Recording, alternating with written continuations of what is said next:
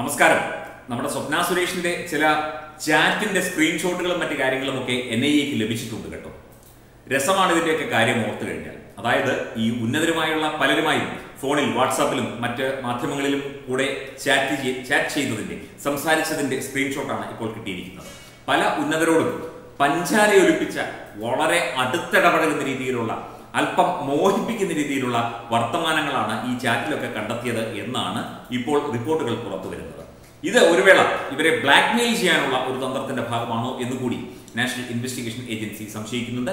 ഈ ഒരു വിഷയത്തിൽ കൂടുതൽ വിശദീകരണങ്ങൾ ഈ വാട്സാപ്പ് അതുപോലെയുള്ള മെസ്സഞ്ചർ തുടങ്ങിയ കമ്പനികളോടും അതിന്റെ വിശദാംശങ്ങളൊക്കെ തേടിയിട്ടുണ്ട്. അതായത് ഏതെങ്കിലും ചാറ്റ് ഡിലീറ്റ് ചെയ്തിട്ടുണ്ടോ ഏതെങ്കിലും ചാറ്റ് ഒളിപ്പിച്ച് വെച്ചിട്ടുണ്ടോ ഹൈഡ് ചെയ്ത് വെച്ചിട്ടുണ്ടോ അതിന്റെ സാങ്കേതികമായ കാര്യങ്ങളൊക്കെ തന്നെ എൻ ഐ എ തേടിയിട്ടുണ്ട് എന്നാണ് വിവരം. സ്വർണക്കടത്ത് കേസ് പ്രതി സ്വപ്ന സുരേഷ് പല പ്രമുഖരുമായി നടത്തിയ ഫോൺ ചാറ്റുകളുടെ സ്ക്രീൻഷോട്ടുകളാണ് എൻ ഐ എ ഇപ്പോൾ കണ്ടെത്തിയിരിക്കുന്നത്. സ്വപ്ന തന്നെ ഗൂഗിൾ ഡ്രൈവിൽ പ്രത്യേകമായി സൂക്ഷിച്ചിരുന്നവയാണ് ഇത്. കണ്ടോ? ചാറ്റ് ബോക്സ് ഒക്കെ ഗൂഗിൾ ഡ്രൈവിൽ പ്രത്യേകമായി ഒളിച്ച് സൂക്ഷിച്ചിരിക്കുകയാണ്. നമ്മളൊക്കെ ചാറ്റ് ചെയ്ത് ചെയ്യുകയാണെങ്കിൽ നമ്മുടെയൊക്കെ മെസ്സഞ്ചറോ വാട്സപ്പോ ഒക്കെ എടുത്താൽ അത് കിട്ടും. പക്ഷേ ഇത് കോപ്പി ചെയ്ത് ഗൂഗിൾ ഡ്രൈവിൽ അതായത് ഫോൺ ഫോർമാറ്റ് ആയാലും അല്ലെങ്കിൽ വേറെ ഫോൺ ഉപയോഗിച്ചാലും ഒന്നും അത് നഷ്ടപ്പെടാത്ത രീതിയിൽ അത് പ്രത്യേകമായി സംരക്ഷിച്ച് സൂക്ഷിച്ചു വെച്ചിരിക്കുകയായിരുന്നു ഈ ഒരു അവസരത്തിലാണ് ബ്ലാക്ക് മെയിലിംഗ് എന്ന കാര്യത്തിലേക്ക് കാര്യങ്ങൾ എത്തിക്കൊണ്ടിരിക്കുന്നത് എന്നാണ് മനസ്സിലാകുന്നത്.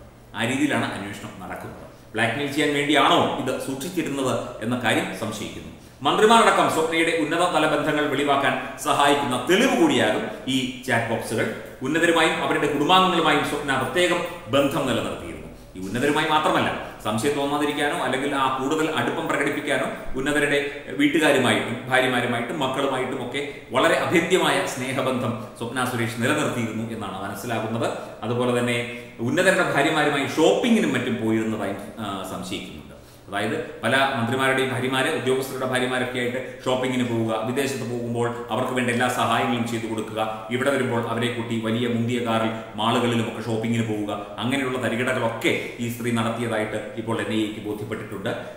സ്വപ്നയും സന്ദീപ് നായരും ഒട്ടേണ ഒട്ടേറെ തവണ ഒരു മന്ത്രിയുടെ വീട്ടിൽ പോയിരുന്നതായും ഒരു ഉന്നതന്റെ മകൻ സ്വപ്നയുടെ ബിസിനസ്സിൽ പങ്കാളിയാണെന്നുമാണ് എൻ ഐ എ ഇപ്പോൾ കണ്ടെത്തിയിരിക്കുന്നത്. ഈ സന്ദീപ് നായരും ഒന്നിച്ച് നിരവധി ആൾക്കാരുടെ വീടുകളിൽ പോയി അതിൽ ഒരു മന്ത്രിയുടെ വീട്ടിൽ പ്രത്യേകം പോയതായുള്ള റിപ്പോർട്ടുകളുണ്ട്. ഇതിനിടയിൽ മെഡിക്കൽ കോളേജ് ആശുപത്രിയിൽ പ്രവേശിപ്പിക്കപ്പെട്ടപ്പോൾ സ്വപ്ന ആർക്കൊക്കെ ഫോൺ ചെയ്തു? ഈ ഉന്നതന ഉൾപ്പെടെയുള്ള വ്യക്തികൾക്ക് ഈ മന്ത്രിക്കും അല്ലെങ്കിൽ ഈ ഉന്നതന ഉൾപ്പെടെയുള്ള വ്യക്തികൾക്ക് സ്വപ്ന സുരേഷ് ഫോൺ ചെയ്തതായുള്ള വിവരവും പുറത്തു വരുന്നുണ്ട്. അതെ തുടക്കം മുതൽ തന്നെ തുടക്കം മുതൽ തന്നെ ഈ ഒരു വിഷയത്തിൽ സ്വപ്ന സുരേഷ് വളരെ തന്ത്രപരമായ ഒരു നീക്കമാണ് നടത്തിയത് എന്നാണ് ഇതിൽ നിന്നൊക്കെ മനസ്സിലാകുന്നത്.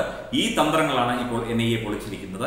ഇതിപ്പോൾ സ്വപ്ന സുരേഷിനെ മാത്രം കേന്ദ്രീകരിച്ചു പോകുന്ന ഒരു അന്വേഷണവുമായി മാറ്റാനുള്ള ഒരു രീതിയിലുള്ള അഭിപ്രായങ്ങളും അതുപോലെയുള്ള നടപടികളും ചില പ്രസ്താവനകളും ഒക്കെയാണ് പല ആളുകളും നടത്തിക്കൊണ്ടിരിക്കുന്നത് ഒളിഞ്ഞും തെളിഞ്ഞും. പക്ഷേ ഇത് സ്വപ്നയെ കൊണ്ടൊന്നും അല്ലെങ്കിൽ സ്വപ്നയുടെ ആ അവസ്ഥ കൊണ്ടൊന്നും അന്വേഷണം കൊണ്ടൊന്നും ഇത് അവസാനിക്കില്ല. സ്വപ്നയെ ചിലപ്പോൾ നിങ്ങൾ തള്ളി പറയുമായിരിക്കും. നിങ്ങൾ യു ഡി എഫിന്റെ കാലത്ത് സരിതയെ തള്ളി പറഞ്ഞതുപോലെ സ്വപ്നയെ തള്ളി പറയാൻ വളരെ എളുപ്പമാണ്.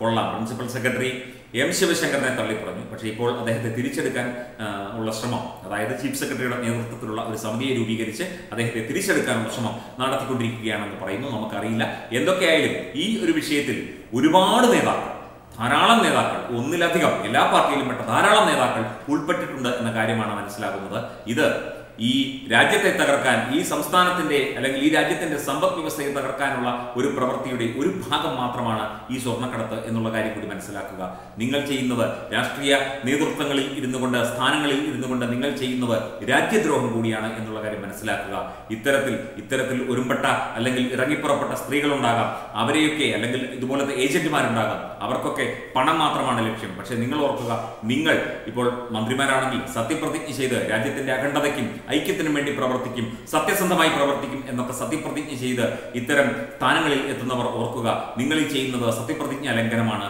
ജനദ്രോഹമാണ്. സ്വപ്നയ്ക്ക് ഇത് കഴിഞ്ഞാൽ ചിലപ്പോൾ സ്വപ്ന ജയിലിൽ പോകുമായിരിക്കാം അല്ലെങ്കിൽ വേറെ എന്തെങ്കിലും സംഭവിക്കുമായിരിക്കാം. അവർക്കാകെ നഷ്ടം വരുന്നത് കുറച്ച് ഇതുപോലെയുള്ള കാര്യങ്ങളും മാധ്യമങ്ങളിൽ കുറെ വാർത്ത വരുന്നതും അല്ലെങ്കിൽ അവർക്ക് കുറെ പണവും നഷ്ടപ്പെട്ടേക്കാം. പക്ഷേ നിങ്ങൾക്ക് ജനങ്ങളോട് ഇവിടുത്തെ രാഷ്ട്രീയക്കാരോടും ഇവിടുത്തെ പ്രമുഖ സ്ഥാനങ്ങളിൽ ഇരിക്കുന്നവരോടും ഉദ്യോഗസ്ഥരോടും ഒക്കെയാണ് പറയുന്നത്. നിങ്ങൾക്ക് ജനങ്ങളോട് ഒരു ബാധ്യതയുണ്ട്. ജനങ്ങൾ വോട്ട് ചെയ്തതുകൊണ്ടാണ് നിങ്ങൾ ഈ അധികാര സ്ഥാനത്തിരിക്കുന്നത്. ജനങ്ങൾ തന്നതാണ് നിങ്ങൾക്ക് ഈ പദവിയും മറ്റു കാര്യങ്ങളുമൊക്കെ. നിങ്ങൾ ഓർക്കുക നിങ്ങൾ എങ്ങനെ നിങ്ങളായെന്ന് എന്ന് പണ്ട് കടമനിട്ട പാടിയതുപോലെ ഈ രീതിയിലാണ് കാര്യങ്ങൾ മുമ്പോട്ട് പോകുന്നതെങ്കിൽ ഇപ്പോൾ ഇടതുപക്ഷ ഇടതുപക്ഷക്കാരായാലും കോൺഗ്രസ്സുകാരായാലും വേറെ ഏത് പാർട്ടിക്കാരായാലും ശരി നിങ്ങൾ ഇത്തരത്തിലുള്ള കാര്യങ്ങളിൽ ഇടപെട്ട് നടത്തിയ കാര്യങ്ങൾ ഉൾപ്പെടെ പുറത്തു വരും. നിങ്ങൾക്ക് തന്നെയാണ് അതിനൊക്കെ നഷ്ടമുണ്ടാവുക.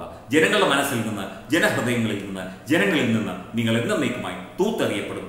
പിന്നെ കേരളത്തിലെ ജനങ്ങൾ മണ്ടന്മാരാണെന്ന് പറയും. നിങ്ങൾ ചിലപ്പോൾ അടുത്ത ഇലക്ഷൻ നിന്നാൽ ചിലപ്പോൾ നിങ്ങളെ ജയിപ്പിച്ചേക്കാം. പക്ഷേ അതൊക്കെ താൽക്കാലികം മാത്രമാണ് എന്ന് മാത്രമേ ഈ ഒരു അവസരത്തിൽ പറയാനുള്ളൂ.